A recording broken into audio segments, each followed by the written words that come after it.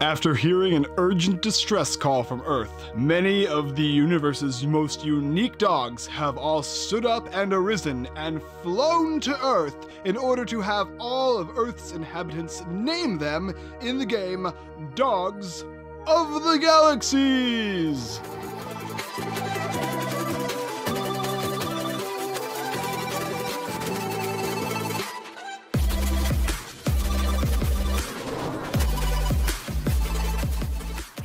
Hey guys, and welcome back to another Unfiltered Gamer board game review. Today's game up on the tabletop is called Dogs of the Galaxies, in which you'll be playing as a human attempting to name the most unique and bizarre dogs ever to be found. In this game, you're going to get a ton of cards here, and basically you're going to be describing dogs that you see on the cards and have everybody else attempt to name them. It's a judging style game in which players are going to deduce uh, which dogs or which type of uh, name name they should get based on the description, and then the reveal will be the most interesting, unique aspect of it all. Of course, with unique dogs, and of course, rare dogs, and all different types of dogs that have certain rules for each of them. Anyway, let me go ahead and show you what's in the game Dogs of the Galaxies, and then I will uh, play a round or so and tell you what I think about it. So here we have the game Dogs of the Galaxies and everything included in the game, which is mainly the box, the rules here, and all the different doggies that you're going to be getting a chance to uh, describe to your friends. And the game's pretty simple. There's three types of dogs. You're going to have the commons, the epics, and the legendaries. Commons, you're just going to describe and they're going to name them. The epics, you're going to describe, but you're going to use a keyword and they're going to name them with that keyword in the name.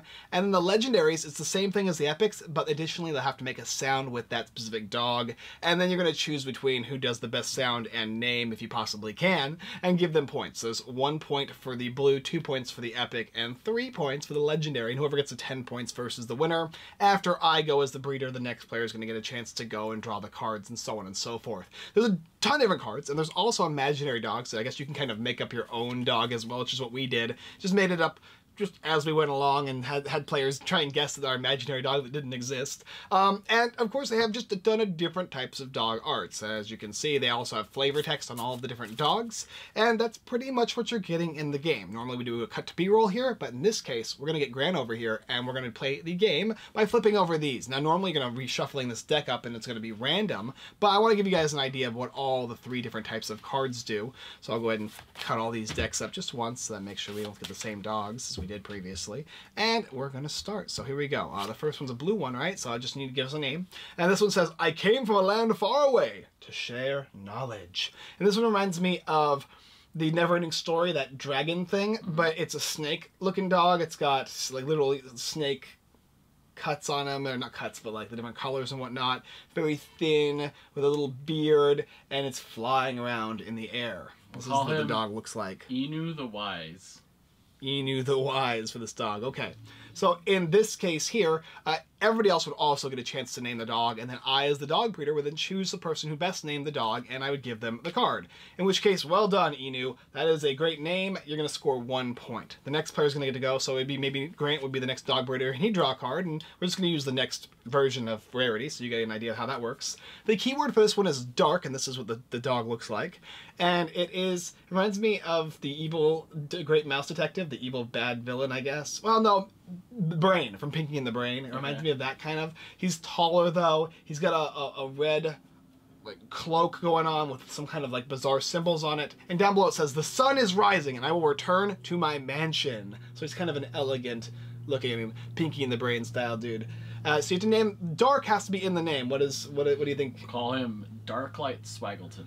Darklight Spigleton. Okay, and then of course we I would everybody else would do the same as well, and two points would be awarded to that person.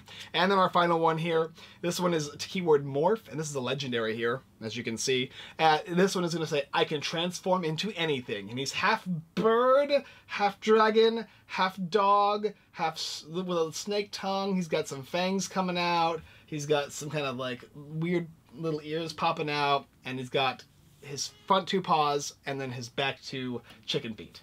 We'll call him Morpheus the Dream Eater.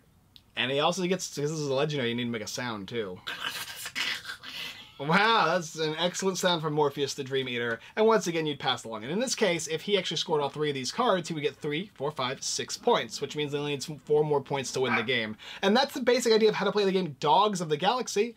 Uh, let's go ahead and talk about my review now. Yeah, liked it. So that was basically Dogs of the Galaxy, in which you're going to be playing a party style game. And what's cool about this game is you can pretty much have as many players as you want. In fact, I don't even think it has amount of players on here because really you could play with everybody in your entire party. You're just basically having an imagination party in which players are going to deduce what is on the cards based on what you are saying. And because everybody's going to describe things differently, it's always very likely that even if you come up with the same dog on a different party, on a different date with different people, you're not going to have the same description. And it might be similar in some ways, but you'll have people with different names and different ideas as well. It plays similar to games like the Apples to Apples and that kind of stuff, but it has a family, uh, it also has this family aspect where it's uh, you're adding imagination to the cards and you're trying to deduce what things are going to visually represent in your mind. It's interesting. It's very unique. I don't think I've seen a game where you're actually trying to uh, describe, where somebody is describing something to you and then you have to give it a name or attach a name with certain things like a sound and whatnot.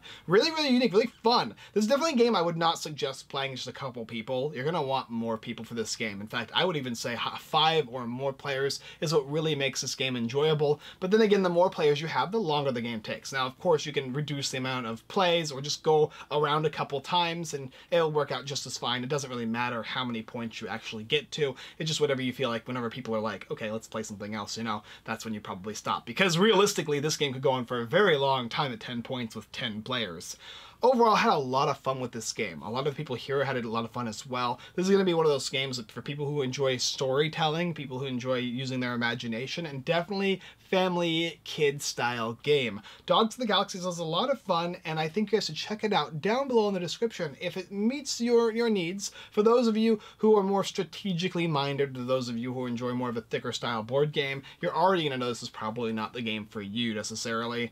Uh, but if you do enjoy a, a light atmosphere with some really cool art. I really enjoy all the different arts, all, all, all the dogs, especially the uh, the legendary ones. These guys have some really cool artwork going on, the, the void and whatnot. And they all have really cute flavor text, which is something I enjoy as well because you can add that flavor text to give your dog a name, right?